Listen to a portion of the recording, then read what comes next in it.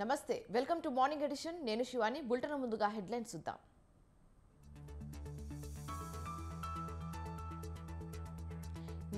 నేడు అన్నమయ్య జిల్లాలో జగన్ బస్ యాత్ర మధ్యాహ్నం మదనపల్లిలో భారీ బహిరంగ సభ.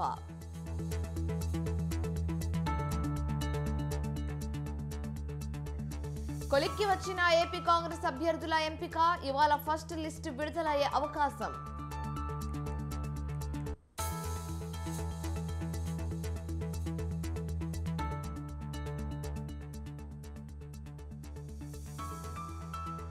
ఇవాళ మహబూబ్ నగర్ ఎమ్మెల్సీ ఎన్నికల కౌంటింగ్ వాయిదా.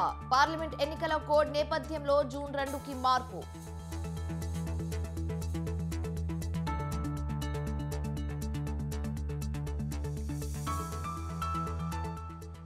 కరీంనగర్లో ఇవాళ బండి సంజయ్ రైతు దీక్ష రుణమాఫీ పంట నష్టం చెల్లించాలని డిమాండ్.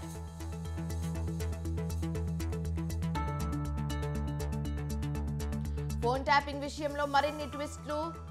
రాధాకిషన్ రావు రిమాండ్ రిపోర్ట్లో కీలక విషయాలు.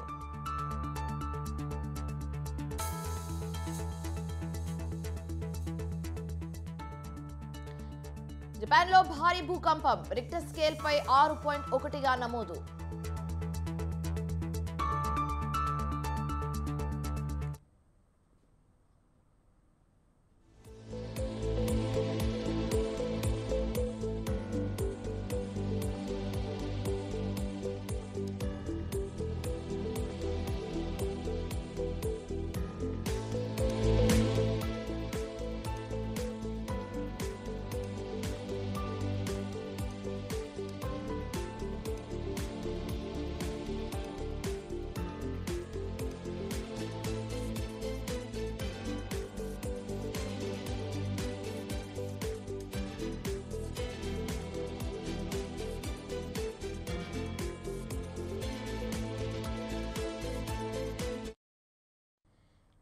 ఎస్. బ్రేకింగ్ న్యూస్ చూస్తున్నాం. బీజేపీ కార్పొరేటర్ వేధింపులు తట్టుకోలేక ఓ వ్యక్తి ఆత్మహత్య చేసుకున్నాడు.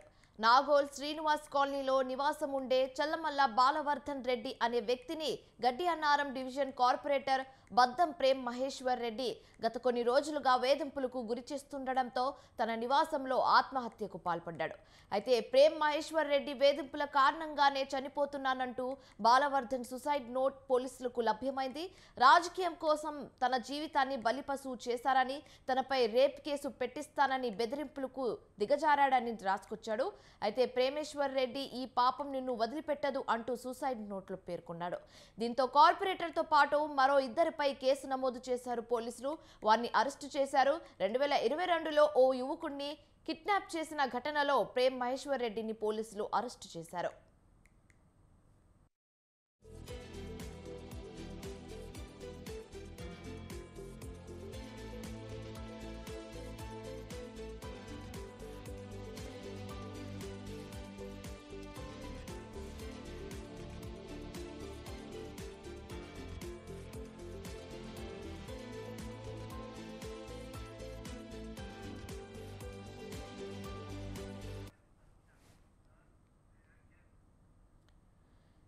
బీజేపీ కార్పొరేటర్ వేధింపులు తట్టుకోలేక ఓ వ్యక్తి ఆత్మహత్య చేసుకున్నాడు. నాగోల్ శ్రీనివాస్ కాలనీలో నివాసం ఉండే చెల్లమల్ల బాలవర్ధన్ రెడ్డి అనే వ్యక్తిని గడ్డి డివిజన్ కార్పొరేటర్ బద్దం ప్రేమ్ మహేశ్వర్ రెడ్డి గత కొన్ని రోజులుగా వేధింపులకు గురి చేస్తుండటంతో తన నివాసంలో ఆత్మహత్యకు పాల్పడ్డాడు. ప్రేమ్ మహేశ్వర్ రెడ్డి వేధింపుల కారణంగానే చనిపోతున్నానంటూ బాలవర్ధన్ సూసైడ్ నోట్లో పోలీసులకు లభ్యమైంది. రాజకీయం కోసం తన జీవితాన్ని బలిపశువు చేశారని తనపై రేప్ కేసు పెట్టి చేస్తానని బెదిరింపులకు దిగజారాడని రాసుకొచ్చాడు. ప్రేమేశ్వర్ రెడ్డి ఈ పాపం నిన్ను వదిలిపెట్టదు అంటూ సూసైడ్ నోట్లో పేర్కొన్నాడు. దీంతో కార్పొరేటర్తో పాటు మరో ఇద్దరిపై కేసు నమోదు చేశారు పోలీసులు. వారిని అరెస్టు చేశారు. రెండు వేల ఇరవై రెండులో ఓ యువకుడిని కిడ్నాప్ చేసిన ఘటనలో ప్రేమ్ మహేశ్వర్ రెడ్డిని పోలీసులు అరెస్ట్ చేశారు. ఇక ఇక- ఇదే అంశానికి సంబంధించి మరింత తాజా సమాచారం మా ప్రతినిధి ఉషా ఫోన్ ద్వారా అందిస్తారు. ఉషా చెప్పండి.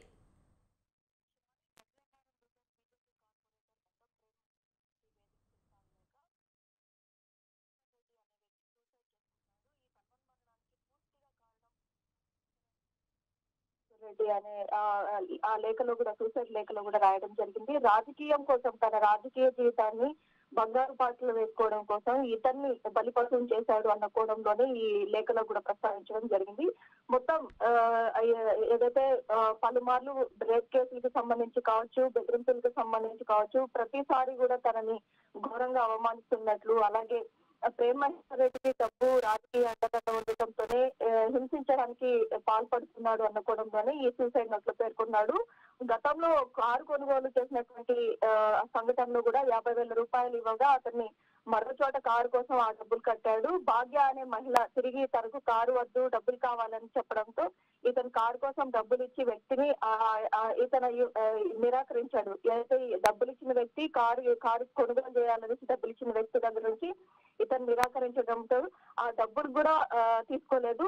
నిన్న భాగ్య అనే మహిళ ఎవరైతే ఉన్నారో చుట్టుపక్కల వాళ్ళ ముందు ఘోరంగా ఎవరైతే బాలవర్ధన్ రెడ్డిని అవమానించడంతో ఈ అవమానాన్ని కూడా తాళలేక అతను ఆత్మహత్యకు పాల్పడినట్టుగా తెలుస్తుంది. మొత్తం మీద నాగోల్ పోలీస్ స్టేషన్ పరిధిలో భాగ్య అతని భర్త మరియు కార్పొరేటర్ ప్రేమ్ మహేందర్ రెడ్డి మీద IPC three not six four forty eight four five not four five not six సెక్షన్ల కింద కేసు నమోదు చేసి నాగోల్ పోలీసులు అయితే ఇప్పటికే ముగ్గురిని అదుపులో తీసుకున్నట్టుగా తెలుస్తుంది.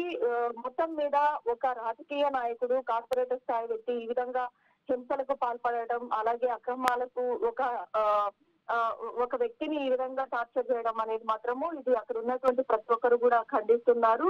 తరచూ వివాదాల్లో ఎక్కుతున్న ఈ కార్పొరేటర్ ఎవరైతే ఉన్నారో దీనికి సంబంధించి గతంలో కూడా ఆస్తి డబ్బుల విషయంలో కిడ్నాప్కు పాల్పడ్డాడనే ఆరోపణలు కూడా ఉన్నాయి. ఇతని మీద బాలుని ఎవరైతే ఒక బాలుని కిడ్నాప్ చేసిన సంఘటనలో కూడా ఇతను జైలుకు వెళ్ళొచ్చారనేసి ఇతను తీరు కూడా మారడం లేదనేసి కూడా పేర్కొన్నాడు. ఈ లేఖలో డబ్బుల విషయంలో ఒక నిరుపేద వ్యక్తిని బెదిరించాడనేది కూడా ఆరోపణలు కూడా ఉన్నాయి.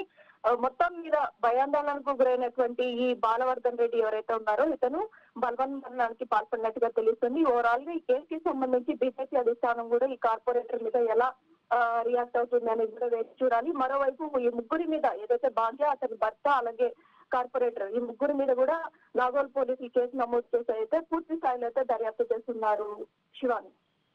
Thank you Usha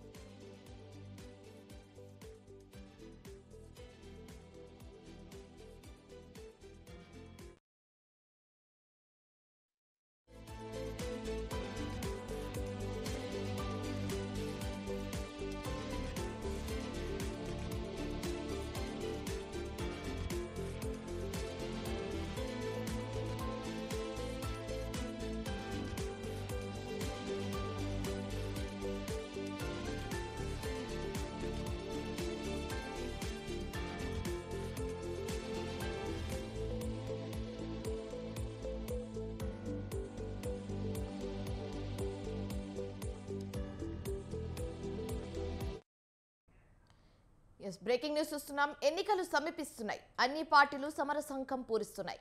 అయితే ఈ క్రమంలో ఏపీ సీఎం జగన్ మేమంతా సిద్ధం పేరుతో బస్సు యాత్ర చేపట్టారు. మళ్ళీ అధికారమే లక్ష్యంగా రాష్ట్రాన్ని చుట్టేస్తున్నారు. ఆ రోజులుగా కొనసాగుతున్న యాత్రలో జగన్ ప్రజలతో మమేకమవుతూ ముందుకు కదులుతున్నారు. మహిళలు యువతులు పిల్లలు కార్మిక సంఘాల నేతల నుంచి బస్ యాత్రకు విశేష స్పందన వస్తుంది. అడుగడుగునా జనం నీరాంజనాలను పలుకుతున్నారు.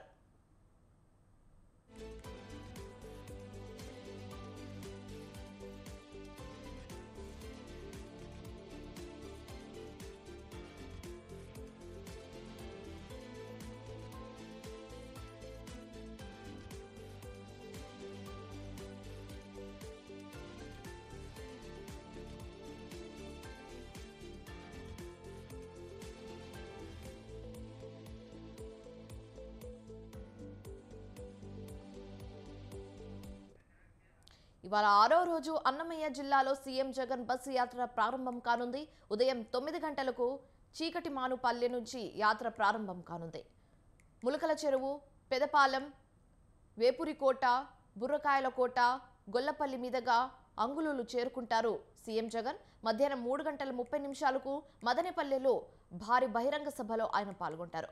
అయితే సభ అనంతరం నిమ్మ నిమ్మనపల్లి బోయకొండ క్రాస్ చౌడేపల్లి సోమల మీదుగా అమ్మగారిపల్లె చేరుకుంటారు. రాత్రి అమ్మగారిపల్లి శివారులో సీఎం జగన్ బస చేస్తారు. బస్సు యాత్ర కోసం అన్ని ఏర్పాట్లు పూర్తి చేశారు వైసీపీ శ్రేణులు.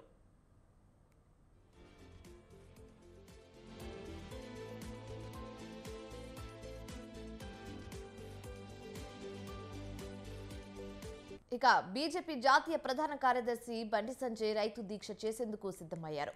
ఇవాళ కరీంనగర్ కలెక్టరేట్ ఎదుట ఆయన రైతు దీక్ష చేపట్టనున్నారు. తెలంగాణలోని కాంగ్రెస్ ప్రభుత్వం రైతులకు ఇచ్చిన హామీలను అమలు చేయలేని చేయలేని డిమాండ్తో ఆయన దీక్షకు రెడీ అయ్యారు. రెండు లక్షల రుణమాఫీ పంట నష్టపరిహారం వరి పంటకు ఐదు వందల రూపాయల బోనస్ ఇవ్వాలనే డిమాండ్తో దీక్ష కొనసాగించనున్నారు. ఇక ఇదే అంశానికి సంబంధించి మరింత తాజా సమాచారం మా ప్రతినిధి శ్రీనివాస్ ఫోన్ ద్వారా అందిస్తారు. శ్రీనివాస్ చెప్పండి.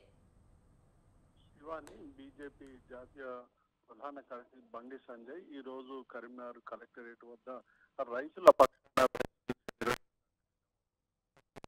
గత ఎన్నికల్లో కాంగ్రెస్ ప్రభుత్వం రైతులకు హామీలు ఇచ్చింది. హామీలను వెంటనే నెరవేర్చాలనే డిమాండ్తో బండి సంజయ్ ఈ రోజు దీక్ష నిర్వహిస్తున్నారు. ప్రధానంగా గత ఎన్నికల్లో కాంగ్రెస్ రైతులకు రెండు లక్షల రూపాయల రుణమాఫీని చేస్తామని రేవంత్ రెడ్డి ప్రకటించారు. వెంటనే రైతుల రుణమాఫీని చేయాలని అదే విధంగా ఐదు వందల రూపాయలను బోనస్గా పంటకు ఇవ్వాలన్నటువంటి డిమాండ్తో పాటు వ్యవసాయ రైతు కూలీలకు కూడా ప్రతి నెల పన్నెండు వేల రూపాయల వాళ్ళ డిపాజిట్ వాళ్ళ అకౌంట్లో డిపాజిట్ చేయాలన్నటువంటి డిమాండ్లతో పాటు మొన్న ఈ మధ్య వర్షాల వల్ల బాగా నష్టపోయినటువంటి రైతులకు పంట నష్టపరిహారం కింద ఇరవై ఐదు వేల రూపాయలు ఇవ్వాలని డిమాండ్ చేస్తూ ఈ రోజు రైతు దీక్షకు బండి సంజయ్ కూర్చుంటున్నారు. అయితే ఎన్నికల కోడ్ వల్ల తాము శాంతియుతంగానే దీక్ష నిర్వహిస్తామని చెప్తున్నారు. నిన్నటి రోజున అన్ని మండలాల్లో అక్కడ మండల అధ్యక్షులు అక్కడ అదేవిధంగా అక్కడ బీజేపీ నేతలు అక్కడ ఉన్నటువంటి ఎంఆర్ఓలకు ఎండిఓలకు వినతి పత్రాలను కూడా సమర్పించారు. ఈ రోజు పెద్ద ఎత్తున కరీంనగర్ కలెక్టరేట్ వద్ద బండి సంజయ్ దీక్షకు పూనుకుంటున్నారు. అయితే దీక్షకు ఎలాంటి అనుమతులు లేవన్నటువంటి విషయాన్ని కూడా పోలీసులు చెప్తున్నారు. ఎట్టి పరిస్థితుల్లో తాను దీక్ష చేస్తానని మాత్రం బండి సంజయ్ అంటున్నారు. అయితే తాను శాంతియుతంగా రైతుల పక్షాన ప్రభుత్వం చేపడుతున్నటువంటి రైతు వ్యతిరేక విధానాలకు దీక్ష చేస్తుంటే పోలీసులు అనుమతి ఇవ్వకపోవడం చాలా విచారకరం అన్నారు మొత్తంగా ఎన్నికల కోడ్ ఉండడం వల్ల శాంతి భద్రత సమస్య తలెత్తుతుందన్నటువంటి విషయాన్ని కూడా పోలీసు అధికారులు చెప్తున్నారు. మొత్తంగా ఈ రోజు రైతుల పక్షాన బండి సంజయ్ దీక్ష చేయడానికి సిద్ధమవుతున్నాడు అని చెప్పవచ్చు. Right thank you Srinivas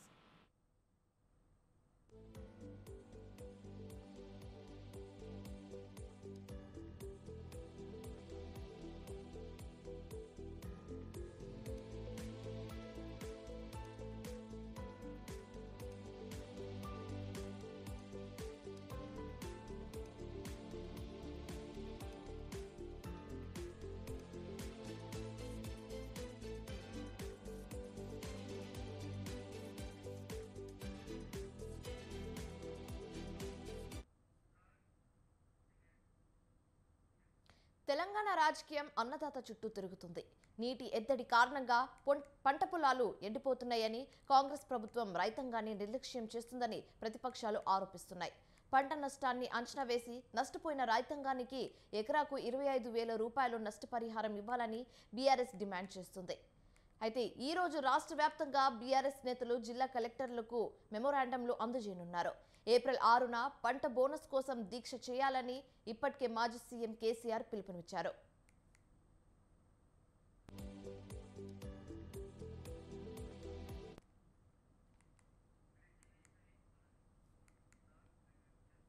Telangana రాజకీయం అన్నదాత చుట్టూ తిరుగుతోంది. నీటి ఎద్దడి కారణంగా పంట పొలాలు ఎండిపోతున్నాయని కాంగ్రెస్ ప్రభుత్వం రైతాంగాన్ని నిర్లక్ష్యం చేస్తుందని ప్రతిపక్షాలు ఆరోపిస్తున్నాయి. అయితే పంట నష్టాన్ని అంచనా వేసి నష్టపోయిన రైతాంగానికి ఎకరాకు ఇరవై ఐదు వేల రూపాయలు నష్టపరిహారం ఇవ్వాలని బీఆర్ఎస్ డిమాండ్ చేస్తుంది. అయితే ఈ రోజు రాష్ట్ర వ్యాప్తంగా బీఆర్ఎస్ నేతలు జిల్లా కలెక్టర్లకు మెమోరాండంలు అందజేయనున్నారు. ఏప్రిల్ ఆరున పంట బోనస్ కోసం దీక్ష చేయాలని ఇప్పటికే మాజీ సీఎం కేసీఆర్ పిలుపునిచ్చారు. ఇక ఇదే అంశానికి సంబంధించి మరింత తాజా సమాచారం మా ప్రతినిధి సవిన్. ఫోన్ ఇన్ ద్వారా అందిస్తారు. సవిన్ చెప్పండి. రాష్ట్రంలో ఎండిపోతున్న పంటలకు సంబంధించి ప్రతి ఎకరానికి ఇరవై ఐదు వేల రూపాయలు ఇవ్వాలి. అదేవిధంగా రైతులకు యాసంగి వరి ధాన్యాన్ని పండించిన రైతులకు మద్దతు ధరతో పాటు కింటాకు ఐదు వందల రూపాయల బోనస్ ఇవ్వాలంటూ డిమాండ్ చేస్తూ బీఆర్ఎస్ పార్టీ ఈ రోజు రాష్ట్ర వ్యాప్తంగా అన్ని జిల్లాల కలెక్టరేట్ కార్యాలయాల్లో వినతి పత్రాలు ఇవ్వబోతోంది. దీనికి సంబంధించి బీఆర్ఎస్ అధినేత కేసీఆర్ ఇటీవల జరిపిన జనగామ సూర్యాపేట జిల్లాల పర్యటనలో బీఆర్ఎస్ పార్టీ శ్రేణులకు పిలుపునిచ్చారు. అందులో భాగంగా ఈ రోజు అన్ని జిల్లా కలెక్టరేట్ కార్యాలయాల్లో వినతి పత్రాలు ఇవ్వబోతున్నారు. ఇక ఏప్రిల్ ఆరవ తేదీన నిరాహార దీక్షలు చేపట్టబోతున్నారు. ఉదయం నుంచి సాయంత్రం వరకు రైతులకు పంట ఎండిపోయిన రైతులకు ఇరవై ఐదు వేల రూపాయలు ఇవ్వడంతో పాటు వరి పంటకు కాంగ్రెస్ పార్టీ హామీ ఇచ్చిన మేరకు మద్దతు ధరతో పాటు ఐదు వందల రూపాయల బోనస్ ఇవ్వాలంటూ నిరాహార దీక్షలు చేయబోతున్నారు. ప్రధానంగా రైతుల అంశాన్ని ప్రధాన ఎజెండాగా తీసుకొని బీఆర్ఎస్ పార్టీ ముందుకు వెళ్ళబోతోంది ఇప్పటికే జనగామ సూర్యాపేట జిల్లాలో పర్యటించిన బీఆర్ఎస్ అధినేత కేసీఆర్ ఈ నెల ఐదవ తేదీన ఉమ్మడి కరీంనగర్ జిల్లాలో పర్యటించబోతున్నారు. అక్కడ ఎండిపోయిన పంటలను పరిశీలించి రైతులతో మాట్లాడబోతున్నారు. లోక్సభ ఎన్నికల వేళ బీఆర్ఎస్ పార్టీ ప్రధానంగా రైతుల అంశాన్ని ప్రస్తావనకు తీసుకువచ్చి రైతుల అంశంతో ప్రజల్లోకి వెళ్ళాలని నిర్ణయించుకుంది. అందులో భాగంగానే రైతులకు మద్దతుగా క్షేత్ర క్షేత్రస్థాయిలో పోరాటాలు నిర్వహించాలని నిర్ణయించింది. అందులో భాగంగానే ఈ రోజు అన్ని జిల్లాల కలెక్టరేట్లకు వినతి పత్రాలు ఇవ్వాలని బీఆర్ఎస్ పార్టీ నిర్ణయించింది. అందులో భాగంగా బీఆర్ఎస్ పార్టీ ఆయా జిల్లాల్లో జిల్లా అధ్యక్షులు స్థానిక సంస్థల ప్రజాప్రతినిధులతో పాటు ఎక్కడైతే ఎమ్మెల్యేలు ఉన్నారో ఎమ్మెల్యేల ఆధ్వర్యంలో జిల్లా కలెక్టరేట్లకు విన- జిల్లా కలెక్టర్ కార్యాలయాల్లో వినతి పత్రాలు ఇవ్వబోతున్నారు. రైట్ థ్యాంక్ యూ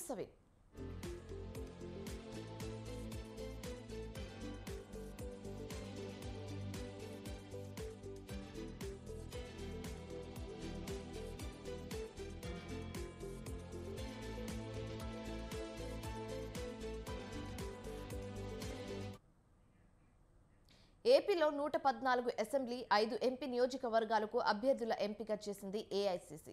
అయితే ఈ రోజు అభ్యర్థులను ప్రకటించనుంది కాంగ్రెస్ పార్టీ. పెండింగ్ నియోజకవర్గాల్లో అభ్యర్థులను వారం రోజుల్లో ఖరారయ్యే అవకాశం ఉంది కాగా మెజారిటీ స్థానాలకు అభ్యర్థుల ఎంపిక పూర్తి కావడంతో ఎవరు ఎక్కడి నుంచి బరిలోకి దిగుతారనే చర్చ రాజకీయ వర్గాల్లో జోరుగా సాగుతుంది. కాగా కడప పార్లమెంట్ స్థానం నుంచి వైఎస్ షర్మిల పోటీ చేయనున్నట్లు తెలుస్తోంది.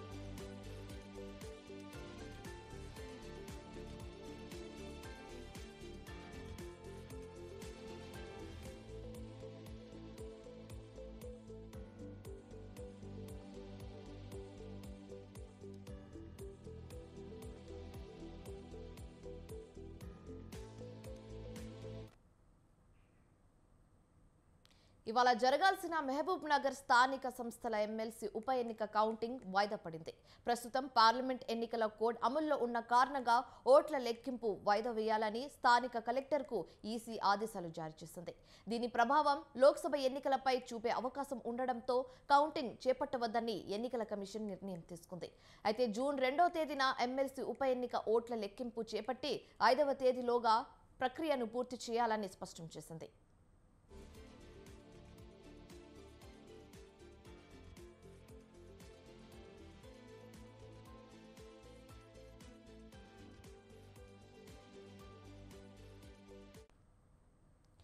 ఎన్నికల కమిషన్ ముందుగా ప్రకటించిన స్కెడ్యూల్ ప్రకారం ఇవాళ ఎమ్మెల్సీ ఉప ఎన్నిక కౌంటింగ్ చేపట్టాల్సి ఉంది. జిల్లాల కేంద్రంలోని బాలుర జూనియర్ కళాశాలలో కౌంటింగ్కు అన్ని ఏర్పాట్లు పూర్తి చేశారు. అయితే లోక్సభ ఎన్నికలకు ముందుగా ఉప ఎన్నిక రావడం ప్రధాన పార్టీలైన కాంగ్రెస్ బీఆర్ఎస్ పోటాపోటీ వ్యూహాలతో ఎదురుచూస్తున్నాయి. సీఎం రేవంత్ సొంత ఇలాకాలో జరుగుతున్న పోరు కావడంతో అందరి దృష్టి ఉమ్మడి మహబూబ్ నగర్ జిల్లాపైన పడింది. ఫలితాల కోసం పార్టీలు ఆసక్తితో ఎదురుచూస్తున్న క్రమంలో వాయిదా పడడంతో నాయకుల్లో నిరుత్సాహం నెలకొంది. ఇక ఇదే అంశానికి సంబంధించి మరింత తాజా సమాచారం మా ప్రతినిధి వెంకటేష్ ఫోన్ ద్వారా అందిస్తారు. వెంకటేష్ చెప్పండి. శివాని ఈ- రోజు యాక్చువల్గా ఈ రోజు ఆ, మహబూబ్నగర్ స్థానిక సంస్థల ఎన్నిక ఉప ఉప ఎన్నికకు సంబంధించినటువంటి కౌంటింగ్ ఈ రోజు జరగవలసి ఉండే. ఫలితాలు కూడా ఈ రోజు వచ్చే అవకాశం ఉండే కానీ అనుకోకుండా ఒకసారిగా ఈ కేంద్ర ఎన్నికల సంఘం ఈ కౌంటింగ్ని జూన్ రెండవ తేదీకి వాయిదా వేసింది. ఆ, అంటే ఈ ఎన్నికలు లోక్సభ ఎన్నికలు జరుగుతున్న నేపథ్యంలో ఆ జరుగుతున్న నేపథ్యంలో ఈ ఎన్నికకు కొంచెం అంటే ఎఫెక్ట్ ఇస్తుంది ఎన్నికలకు సంబంధించి. అనే విధంగా ఎన్నికల ఏదైతే రిజల్ట్స్ వస్తుందో ఆ రిజల్ట్కు సంబంధించి ఈ లోక్సభ ఎన్నికల పైన పడుతుంది ప్రభావం పడుతుందనే ఉద్దేశం అటు భాజపా అంటే బీజేపీకి సంబంధించిన నేతలు అట్లాగే బీఆర్ఎస్కు సంబంధించిన నేతలు ఈ రెండు పార్టీలకు సంబంధించిన వాళ్ళు కేంద్ర ఎన్నికల సంఘానికి ఫిర్యాదు చేయడం జరిగింది. ఎన్ని- ఇది కౌంటింగ్ని ఆ ఈ రోజు ఆపేసేయాలి ఎన్నికల ఈ లోక్సభ ఎన్నికల తర్వాతనే ఈ కౌంటింగ్ని పెట్టాలని ఏర్పాటు చేయాలనేది కూడా బీజేపీ తన ఫిర్యాదు ఎదుర్కోవడం జరిగింది. కేంద్ర ఎన్నికల సంఘానికి ఫిర్యాదు చేయడంతో కేంద్ర ఎన్నికల సంఘం ఈ ఫిర్యాదుని చూసుకొని తర్వాత ఇది సరైనదే అనే ఒక నిర్ణయంతో జూన్ రెండవ తేదీ కేంద్ర ఎన్నికల సంఘం ఈ కౌంటింగ్ని వాయిదా వేస్తున్నట్ట ఒక ప్రకటన విడుదల చేసింది ఆ, దీంతో ఈ రోజు జరగవలసినటువంటి ఏదైతే కౌంటింగ్ ఉందో దానికి అన్నిటికీ ఇప్పటికే మహబూబ్నగర్లోని మహబూబ్నగర్ జిల్లా కేంద్రంలోని ప్రభుత్వ బాల జూనియర్ కళాశాలలో కౌంటింగ్ కోసం అన్నిటి కూడా ఇప్పటికే ఏర్పాటు చేసుకోవడం జరిగింది అధికారులంతా కూడా అన్ని చర్యలు తీసుకోవడం జరిగింది. నిన్న సాయంత్రం మాక్ కౌంటింగ్ కూడా జరిగింది. కానీ కాకపోతే అనుకుండా ఒకేసారిగా నిన్న సాయంత్రం కేంద్ర ఎన్నికల సంఘం నుంచి ఈ ప్రకటన రావడంతో కూడా జూన్ రెండుకు వాయిదా వేస్తున్నట్టు రావడంతో కూడా ఎన్నికలకు సంబంధించి కౌంటింగ్ సంబంధించిన అన్ని కూడా అట్లాగే రెండవ తేదీ వరకు కూడా వీటిని అట్లాగే స్ట్రాంగ్ రూమ్లో ఏవైతే పోలింగ్ సంబంధించిన ఆ డబ్బాలు ఉన్నాయో బాక్స్లో అవన్నీ కూడా అక్కడే భద్రపరచడం జరిగింది. గట్టి పోలీస్ బందోబస్తు కూడా ఏర్పాటు చేయడం జరిగింది. అయితే ఇది ప్రతిష్టాత్మకంగా ఒకవైపు కాంగ్రెస్ పార్టీ మరోవైపు బీఆర్ఎస్ బీఆర్ఎస్ పార్టీ ఈ రెండు పార్టీలు కూడా ఈ ఎన్నికను ఒక ప్రతిష్టాత్మకంగా తీసుకోవడం జరిగింది. అయితే ముఖ్యమంత్రి రేవంత్ రెడ్డి కొత్త జిల్లా కావడంతో కూడా కాంగ్రెస్ గెలిపించుకునేందుకు కూడా రేవంత్ రెడ్డి ముందుండి కూడా మరి అన్ని దిశానిర్దేశాలు కూడా చేయడం జరిగింది ఇప్పటికే. అయితే ఈ ఉత్కంఠ వేస్తున్నటువంటి ఈ ఎన్నిక ఏదైతే ఉన్నదో ఈ రోజు కౌంటింగ్ జరిగితే ఎవరు గెలుస్తారు అనే దాని మీద కూడా ఇప్పటికే కూడా ఆరు రకాలుగా బెట్టింగ్ కూడా కాయడం జరిగింది. ఆయా పార్టీలకు సంబంధించిన నేతలు తర్వాత కొంతమంది ఆ, యువకులు కూడా ఇది ఎవరు గెలుస్తారనే దాని మీద కూడా బెట్టింగ్ కూడా కొనసాగడం జరిగింది. అయితే ఒకేసారిగా వాయిదా పడడంతో కూడా కొంత మహబూబ్నగర్ జిల్లా సంబంధించినటువంటి నేతల్లో కూడా కొంత నిరాశ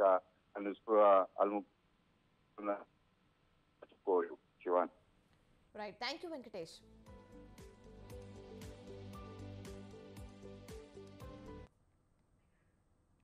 ఏపీలో మే పదమూడున అసెంబ్లీ లోక్సభ ఎన్నికలు ఒకే విడతలో నిర్వహించనున్నారు. అయితే ఈ నేపథ్యంలో కేంద్ర ఎన్నికల సంఘం ఏపీకి ముగ్గురు ప్రత్యేక పరిశీలకులను పంపారని నిర్ణయించారు. పోలీసులు సాధారణ ఎన్నికల వ్యయ పరిశీలకులను నియమించింది.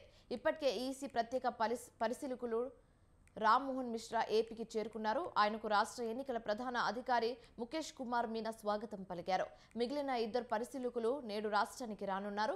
అయితే ఏపీలో ఎన్నికల నిర్వహణపై రాష్ట్ర ఎన్నికల సంఘం ఇవాల్టి నుంచి సన్నద్ధం కానుంది.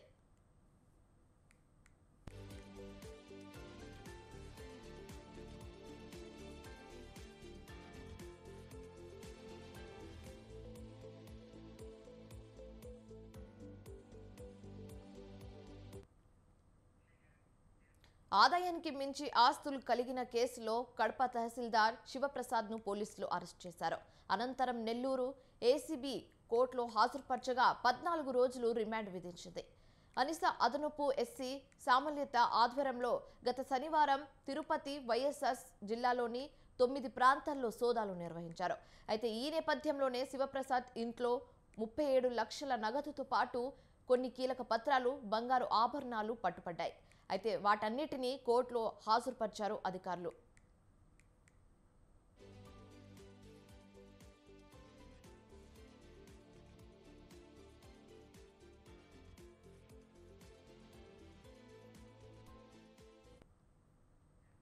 ఏప్రిల్ ఒకటి నుంచి నూతన ఆర్థిక సంవత్సరం ప్రారంభమైంది. రెండు వేల ఇరవై నాలుగు ఇరవై ఐదు ఫినాన్షియల్ ఇయర్లో కొన్ని రకాల ఔషధాల ధరలు పెరుగు పెరిగినట్లు తెలుస్తుంది. National pharmaceutical financing authority April నుంచి ఔషధాల ధరలు పెంచుతున్నట్లు నోటీసులు జారీ చేసింది. దీంతో వరుసగా రెండు ఏడాది కూడా నిత్యవసర మందుల ధర పది శాతానికి పైగా పెరగనున్నాయి. గతేడాది ఈ మందుల ధరలో దాదాపు పదకొండు శాతం పెరుగుదల కనిపించింది. అయితే ఈ ధరల పెరుగుదల ప్రభావం నొప్పి నివారణ మందులు యాంటీబయాటిక్స్ యాంటీ ఇన్ఫెక్ట్ ఇన్ఫెక్షన్పై కూడా చూపనుంది.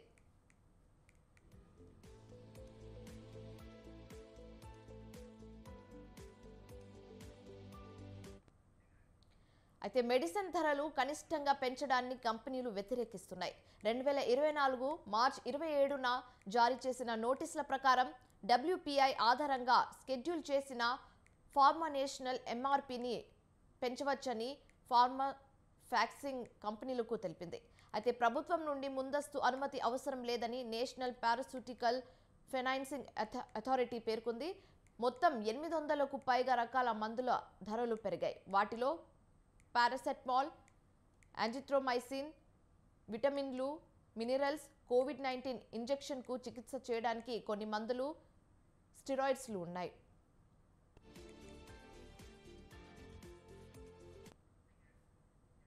వాంకడే వేదికగా రాజస్థాన్ రాయల్స్తో జరిగిన మ్యాచ్లో ముంబై ఘోర ఓటమిని చవిచూసింది బ్యాటర్లు విఫలమవ్వడంతో తొలుత నూట ఇరవై ఐదు పరుగులకే పరిమితమైన ముంబై ఆ లక్ష్యాన్ని కాపాడుకోవడానికి శక్తికి మించి శ్రమించినా సాధ్యం కాలేదు.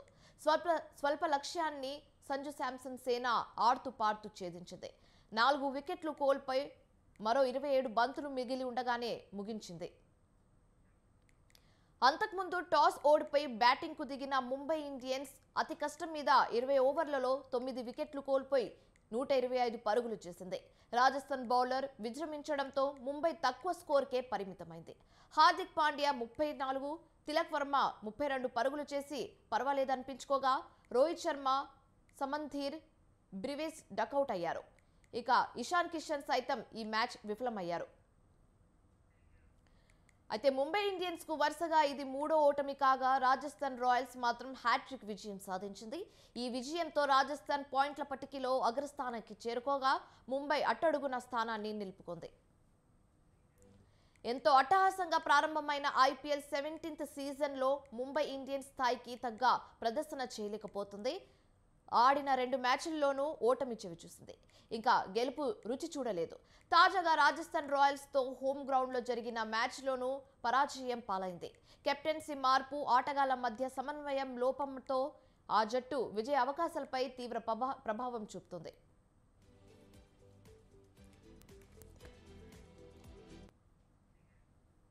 రైట్ ఇవి ఇప్పటివరకు ఉన్న updates. For more updates keep watching Swatantra.